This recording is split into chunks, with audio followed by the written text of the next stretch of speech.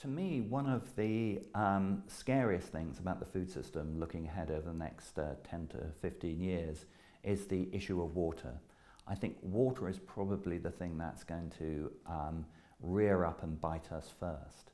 I think that there are a number of areas which are currently uh, highly productive areas which will uh, in part cease to be productive of the order of the next uh, 10 or 15 years.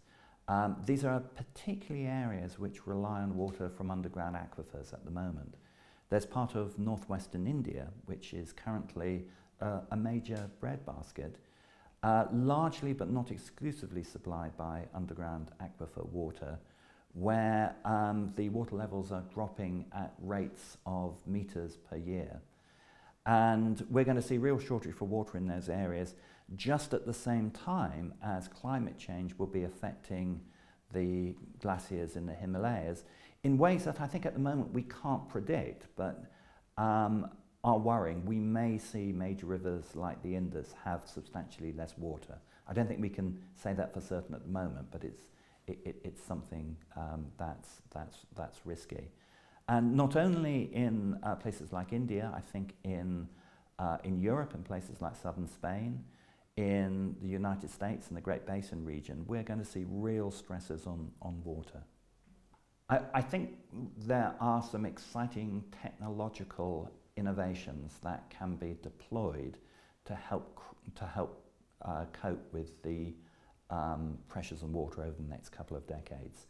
One of the most important is a set of techniques that go under the rubric of precision engineering, which is essentially getting water to exactly where it's used by the crop rather than just spraying water uh, across a whole field. And I think that combined with more efficient irrigation is important. I think that for the bulk crops, the major grains that uh, we rely on for our calories, um, initiatives such as that are going to be the, the main strategy. For high value crops, especially things such as vegetables, then I think there's a very important role for hydroponics where water can be recycled and, and can be used extremely efficiently. I, I think it's unlikely that hydroponics could be taken to scale for the major grain crops, but certainly for the my, more high value crops. I think that we're also going to see innovations in desalination and in water harvesting. There are ways of harvesting humidity from the air, even in quite, in, in quite um, in quite dry environments. So I think there's a lot of innovation there. I think it needs more investment at the moment, and I think it needs more basic research.